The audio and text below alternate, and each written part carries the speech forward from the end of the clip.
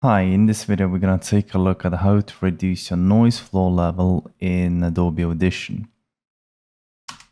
So once you have your recording then the first thing I like to do is double click on it, go to Effects, Filter and EQ and choose FFT Filter and right here I would reduce the lower end frequencies within my recording and this way you will remove some of the low end rumble and this will not diminish your audio quality in any way. So we're going to click apply and it did some minor changes although nothing too major. But that's the first step.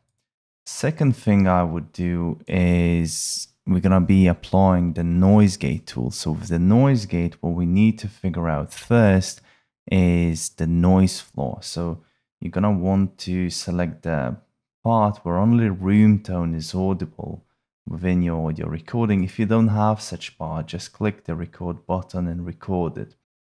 And now you're to want to play it. And we are right now looking at the playback level meter and you want to figure out where your noise floor peaks and this is going to be your noise floor level. So in this case, it is somewhere around minus 49 decibels.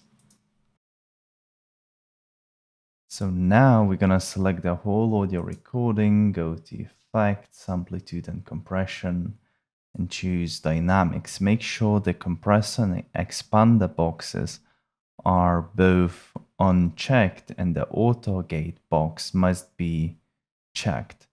Release, hold, and attack settings, I always leave them as they are. So if you want to, you can copy them.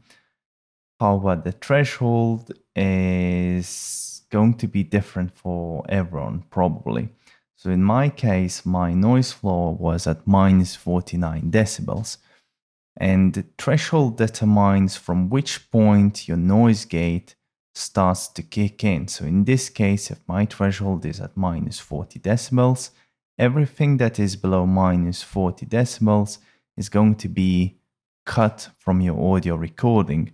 And in this case, that includes my noise floor, which is at minus 49 decibels.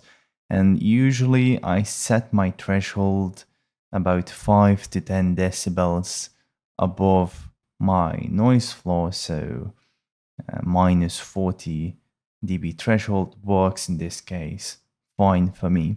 Just keep in mind when we are applying noise gate, it did remove all of the noise floor that is in between me speaking. However, this part is not affected because the noise floor is hidden behind me speaking. So this whole part of my audio recording is still has the same noise floor as it had before. However, in between me speaking, it's completely clean now. So in those cases where you have quite significant noise while you're speaking, what I would use is a tool called denoise. And with the denoise, it will reduce the noise floor even when it appears simultaneously with you speaking. So usually I wouldn't go anywhere higher than 30% because then it kind of diminishes your audio quality significantly. So 30% is about the optimal spot and you're going to click apply and this is going to be it. This will make your audio significantly cleaner but I would only rely on the noise reduction tool if you had a significant noise. In this case, my audio was quite clean to begin with, so uh, using the equalizer and noise gate would have been enough.